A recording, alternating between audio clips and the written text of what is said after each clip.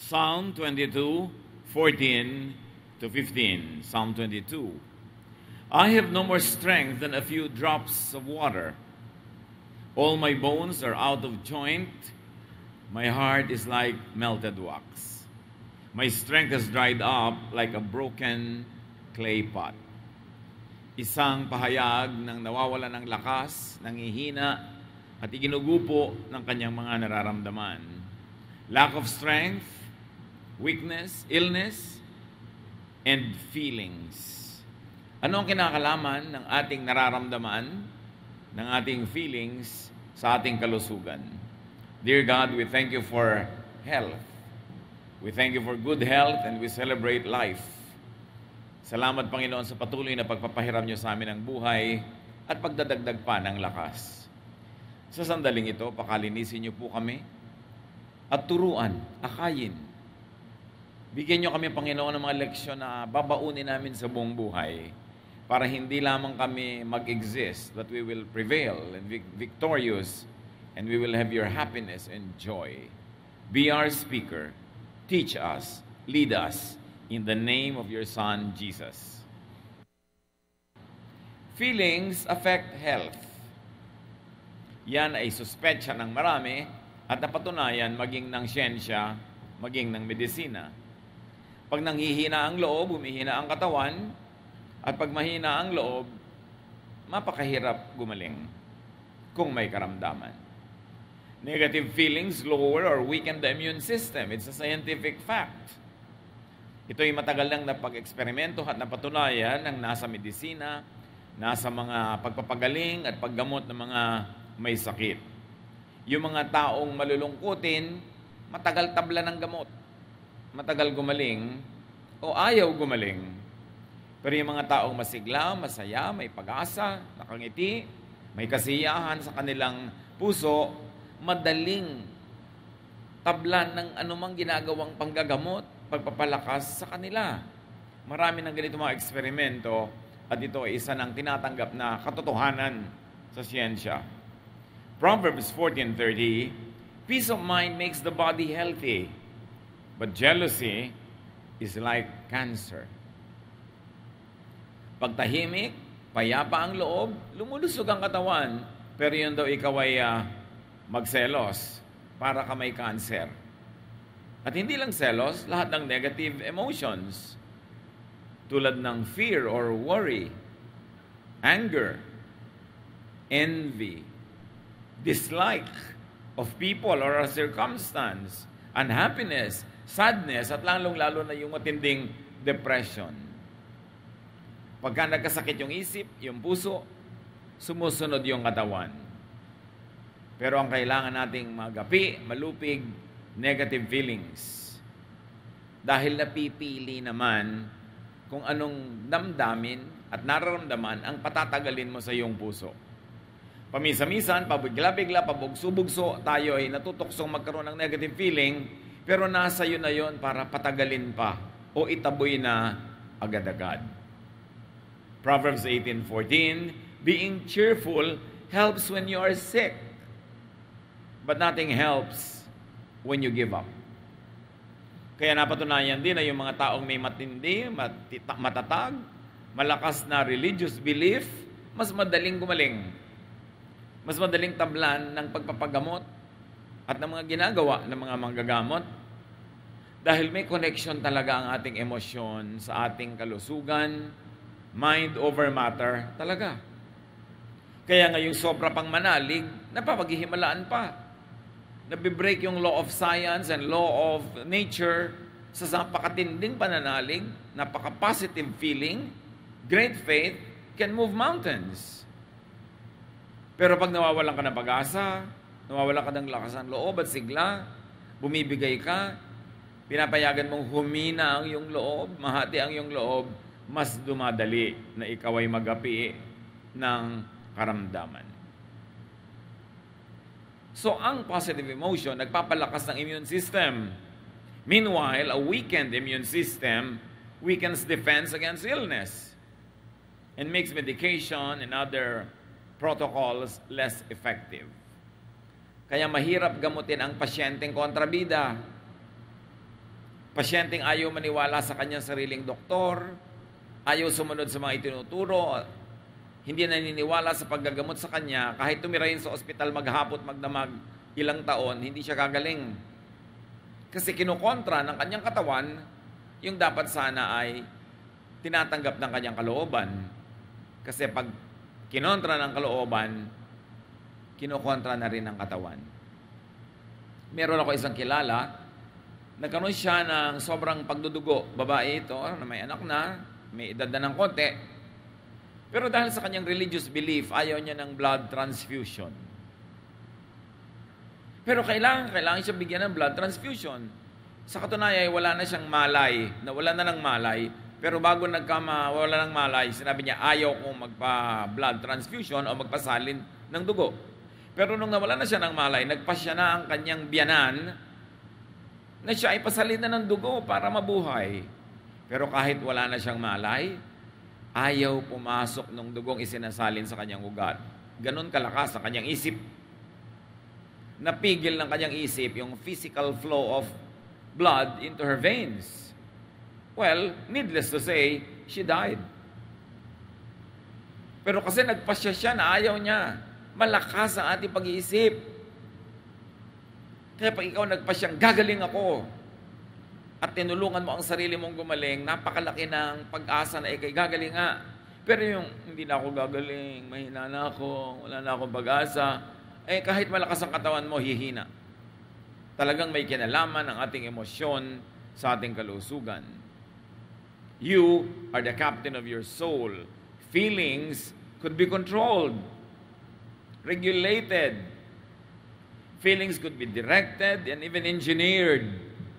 Pwede mong bigyan ng hugis ang iyong nararamdaman. Pwede mong patayin agad ang negative feeling, buhayin ang positive feeling, at pwede mo ring patayin ang positive feeling at ang buhayin mo negative kung anong gugustuhin mo. Dahil tayo nilikha sa wangis ng Diyos, may kapangyarihan ang ating espiritu, may kapangyarihan ang ating isip na may malaking magawa. Ecclesiastes 7.9, Keep your temper under control. It is foolish to harbor a grudge. It is foolish to harbor any negative feeling beyond just grudge.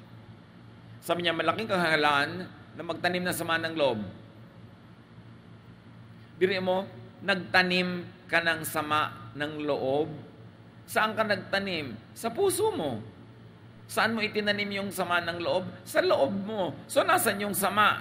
Nasa loob mo. Daladala mo kahit saan. So, it is foolish. May nagawa sa iyo mali ang isang tao, nagtanim ka ng sama ng loob, siya natutulog na mahimbing, ikaw hindi. Wala siyang kamalay-malay na negative pala yung feeling mo, ikaw walang ganang kumain, tumataas ang presyon ng iyong dugo, nasisira ang iyong kalusugan kasi nagtanim ka ng sama ng loob. Eh mabuti sana kung sa kanya mo itatanim yun eh, pero hindi eh, hindi naman sama ng labas yung itatanim mo, sama ng loob. Kaya yung matatampuhin, lagi na lang may hinanakit, laging may reklamo, laging may galit, laging mayroong unhappiness, hinuhukay nyo ang sarili nyo libingan. Sinisira nyo ang inyong sariling katawan. Pinadidilim nyo ang inyong sariling mundo pinapapangit nyo ang inyong sariling buhay. Kaya sabi, keep your temper under control. Keep your negative feelings under control. Ibig sabihin lang noon, kaya mong kontrolin kasi hindi naman sasabihin ng Bible kung hindi mo kayang gawin eh.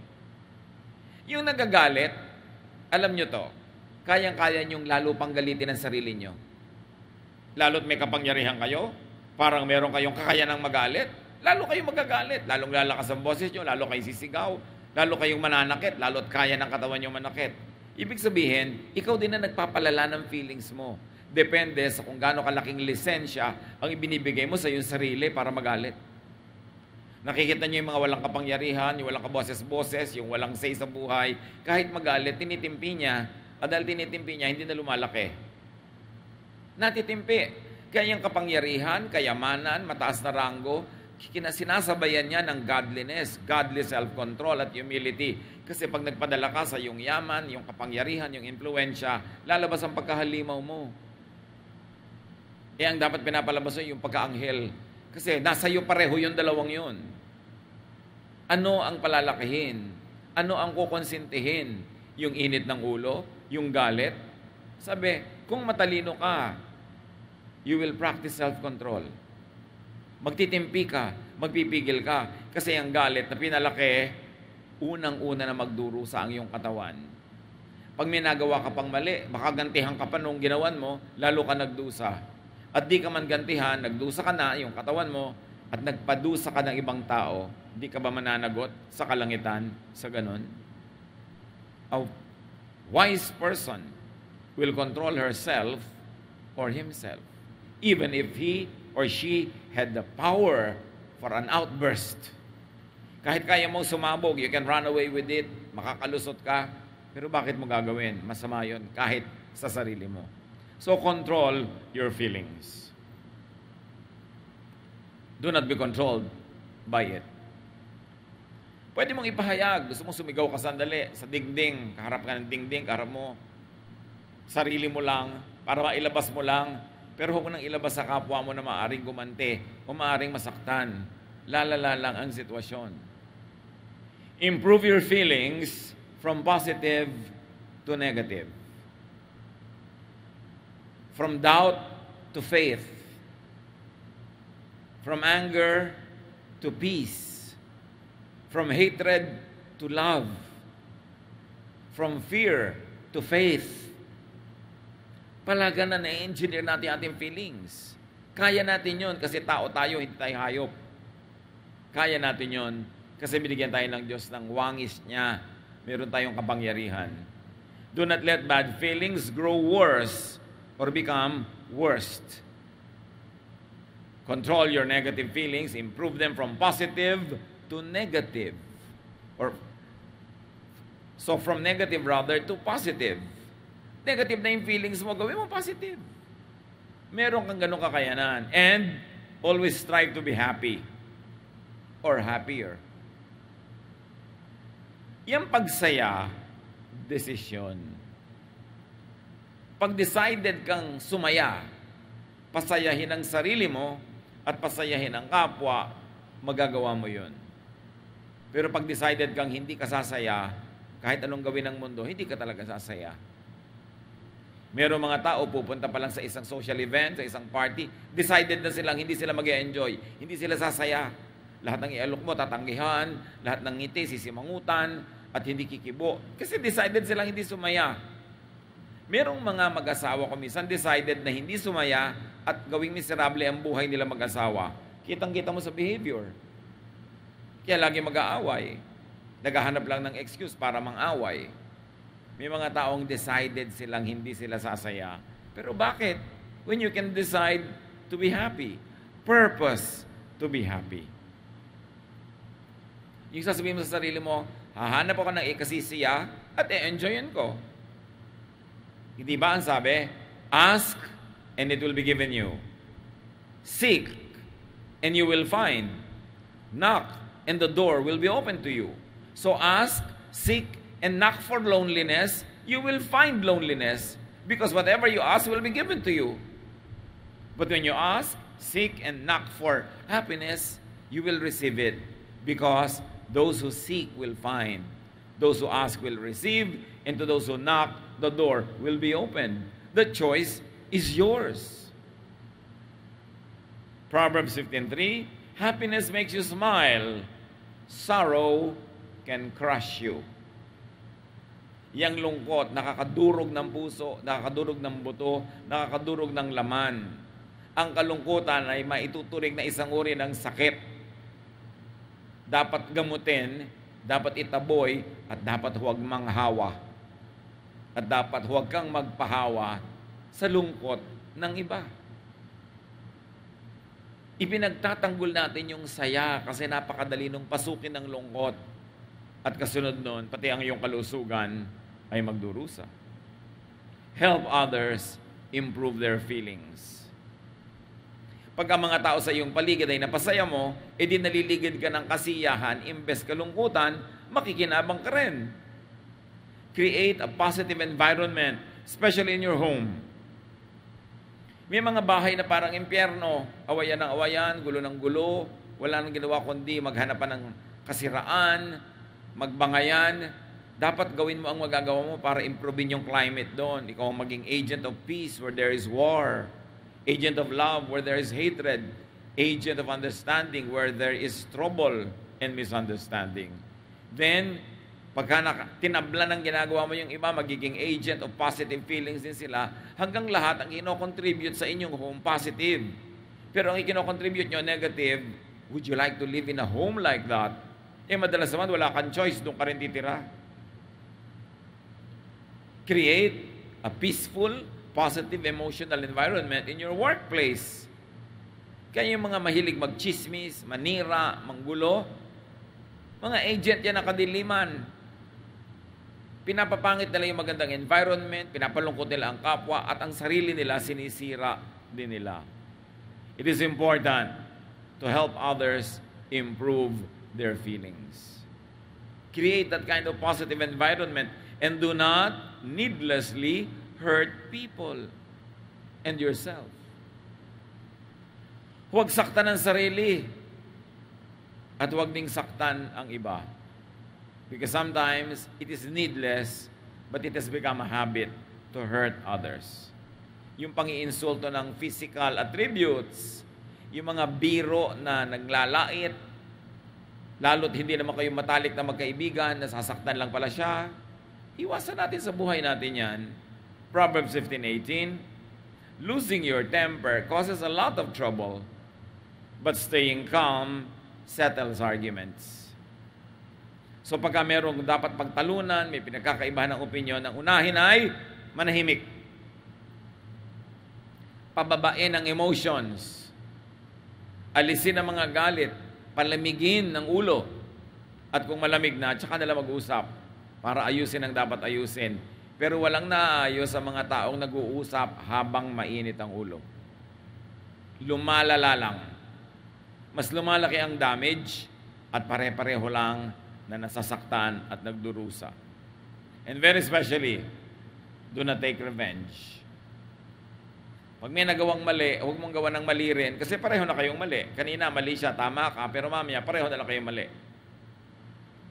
At hindi na matitigil ang gawaan ng mali. Sabi nga ng iba, looking good is the best revenge. Meron kayong gustong paghigantihan, magpaganda kayo. Yung ang ganda-ganda mo, habang miserable siya, yun na yung ganti mo. Eh kung pinaganda mo pa siya, natuwa siya sa'yo, di lalong mabuti. Kasi kung meron namang hindi maganda, eh nakikita mo lagi, hindi magdurusa ka rin. Kaya dapat pinapaganda natin ang kapwa, pinapaganda ang environment para tayo nakikinabang. Ang tao lumulusog pag naliligid siya ng magagandang bagay. Ang tenga niya nakakarinig ng musika, magagandang salita, imbes ingay, bangayan, sigawan at murahan, nakakabigay yun ng sakit. Ang mata ng tao dapat nakakita ng ganda, hindi ng kapangitan. Ang ilong niya nakakaamoy ng bango, hindi ng baho. At dapat ang kanyang balat nakakaramdam ng sarap ng sensation, hindi ng hapdi, sakit o sugat. At dapat ang kanyang dila na titikman ay sarap, hindi yung sobrang alat, sobrang pait na hindi masarap sa panlasa. Binigyan tayo ng senses ng Diyos para dagdagan ang appreciation natin sa ganda ng creation. We should feed those senses with positive sensations. It's part of worship. It's part of holiness. It's part of godliness to surround yourself with beauty, with music, with harmony, with balance, because that will make you healthier. At kung nasakta na, at nakapanakit na, repair hurt feelings. Pag nagawa na, hindi na mabawi, makipag-ayos. Makipag-asundo.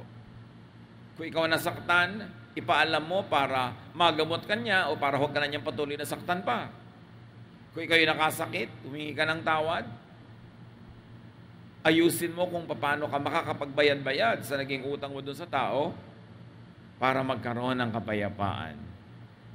Mahirap pumayapa ang puso sa loob kung magulo sa labas. Matthew 18:15 Sabi ni Jesus, if one of my followers sins against you, Go and point out what was wrong. But do it in private, just between the two of you. Sabi, pagka meron akong uh, tagasunod na nakagawa ng mali sa inyo, nasaktan kayo, sabihin niyo sa kanya.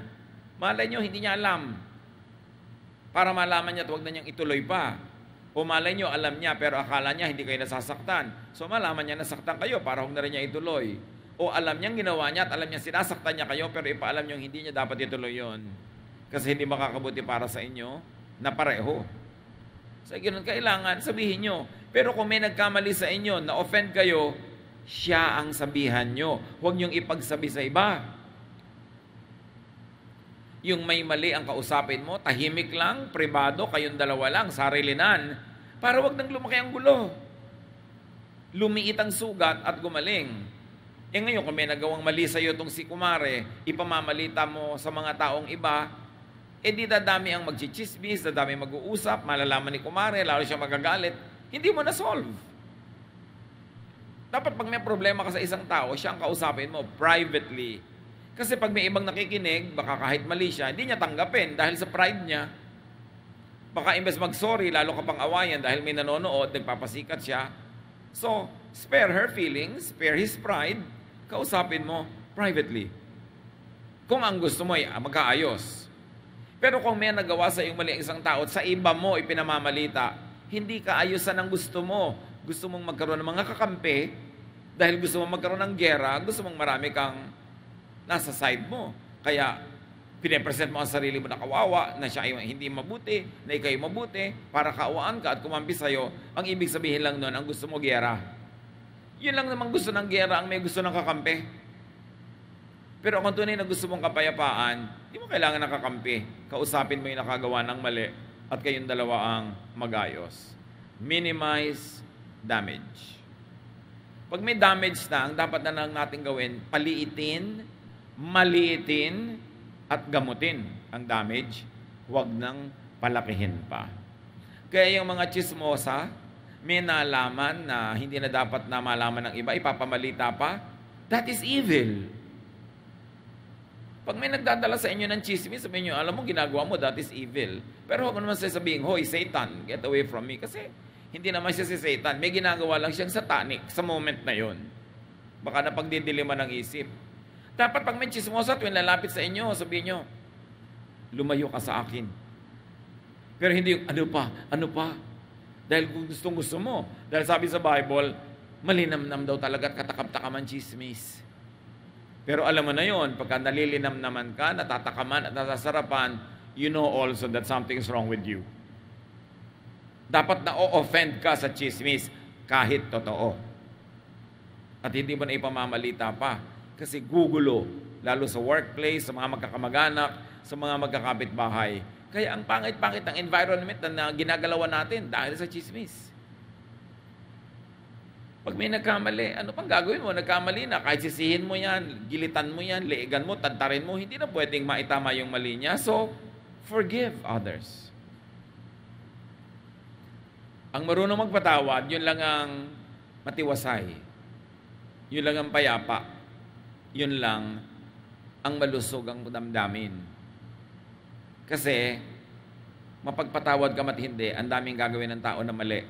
Pero kung mapagpatawad ka, minimize lang ang negative effect on you. Pero pag dinamdam mo, nagtanim ka man ng sama ng loob, gumanti ka, lalo mong pinapasama ang iyong kalagayan. So forgive others and get forgiven. Lalo yung may mga sakit, dinala mo na sa lahat ng doktor, lahat ng ospital, hindi pa malaman kung ano yung sakit, kadalasan sa damdamin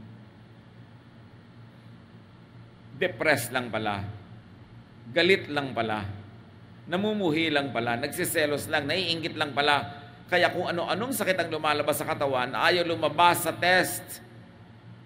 Kasi hindi naman natetest ng mga laboratorio yung damdamin. Hindi nakikita sa x-ray yan. Kahit i-CT scan ka, hindi nakikita yung damdamin. Kasi sabi, ano kaya sakit nito? Ba't di natin malaman? Damdamin yon. Kaya mahalaga na malusog ang ating damdamin. At huwag manghuhusga ng kapwa. Kasi pag nanguhusga ka, ang tendency mo, magalit. Mali siya. tama ako. Therefore, magagalit ako sa kanya. Unawain natin ang mga tao, ang mga ginagawa nila may dahilan. May pinanggagalingan sila kung bakit sila nagkakaganon. Luke 6, 37 to 38. Jesus said, Don't judge others, and God won't judge you. Don't be hard on others, and God won't be hard on you. Forgive others, and God will forgive you. Napakalinaw dito na kung anong ginagawa mo sa iyong kapwa, yun ang gagawin sa iyo ng Diyos.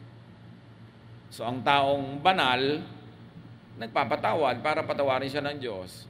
At kung di man siya banal, pero matalino lang siya, magpapatawad din siya kasi patatawarin din siya ng Diyos. So be holy and godly, but if you cannot always be holy and godly, at least be wise.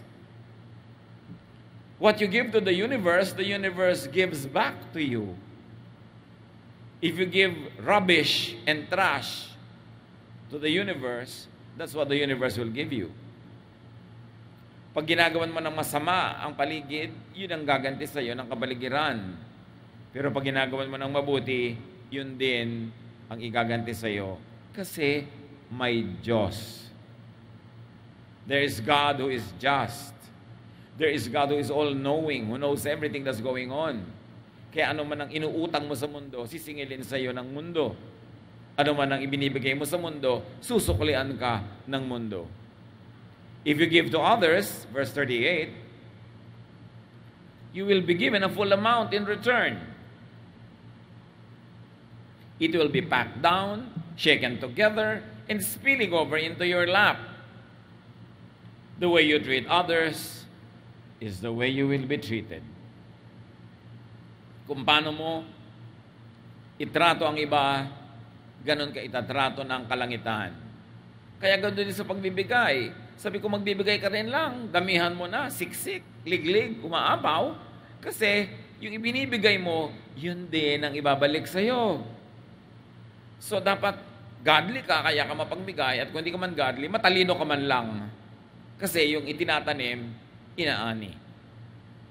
When you give to the universe, the universe gives back to you in greater amounts.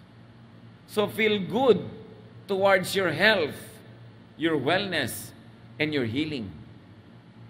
Gano'n sa ating karami ang mga laging minararamdamang sakit ng ulo, sakit ng likod, sakit ng dibdib, na hindi na maipaliwanag ng siyensya at medisina.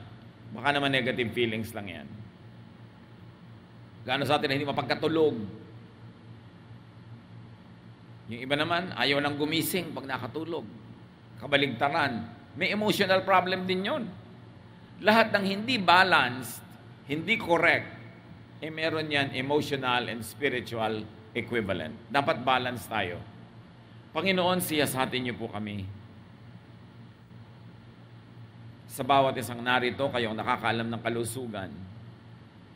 Kayong nakakaalam ng emosyon kayo ang nakakalam ng laman ng aming puso kung ito may pasalamat o reklamo. Ito ba ay pagmamahal o pagkamuhi? Ito ba ay galit? Ito ba ay kapayapaan o kaguluhan? You know what's in our hearts.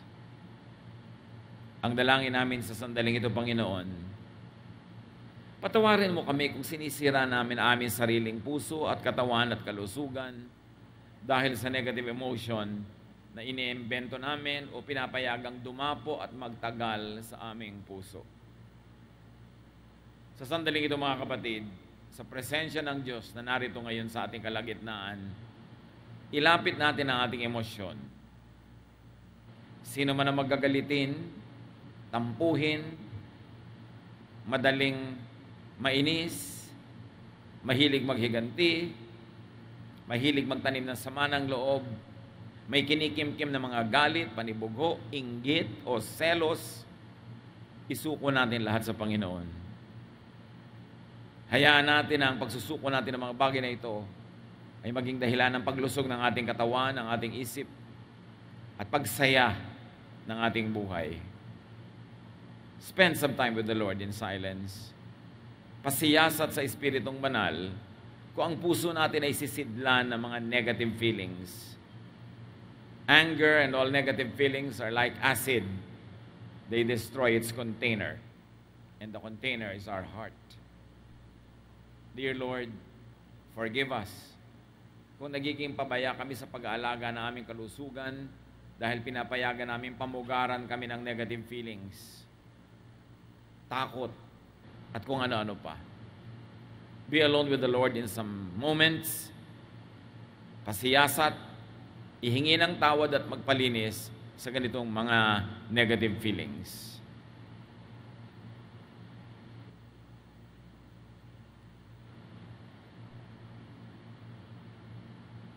At tayo mananalangin. I like to pray for you. Sino man dito ngayon, ang nais yung sabihin sa Lord, Lord, I surrender my negative feelings to you. Touch my heart. Teach me to be happy. Teach me to be happier. Teach me to forgive. Teach me, Lord, na alisin ang inggit, ang selos, ang mga sama ng loob at mga hinanakit.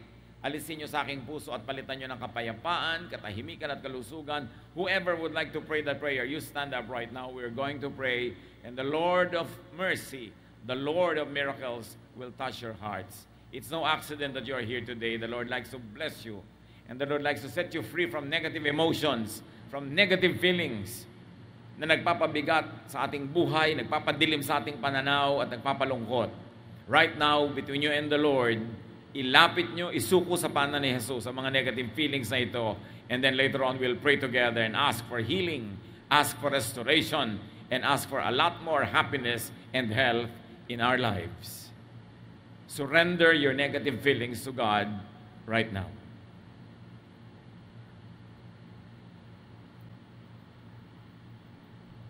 Panginoon, kayong nakakaalam ng bawat detalye ng isinusuko na yung mga anak. It's not for nothing that your people stand before your presence. Your people would like to confess to you, seek forgiveness, for having allowed negative and even evil thoughts to dwell in our minds. Lord, forgive us and cleanse us.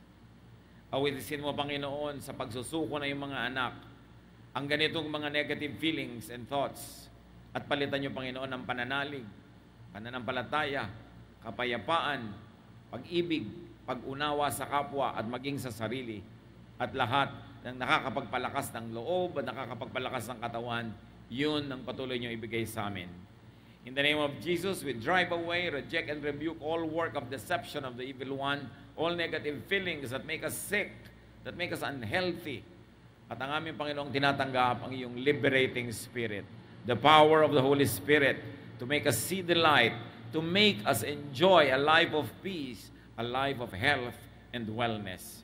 At nawa, Panginoon, bigyan mo rin kami ng uh, matalas na memorya na tuwing kami matutokso para to think negative, to be negative, maalala namin itong isunuko na namin ito sa inyo at itaboy namin ang naman diwa ng negativism in our lives. We ask our, our, you, our, God, O Lord, you are God, to fill our hearts with peace, to fill our hearts with contentment, with joy, with love, and make this a miracle if it needs to be a miracle, O Lord na ang puso namin ay mapuno ng mga positive feelings, positive emotions, because you, O God, are positive.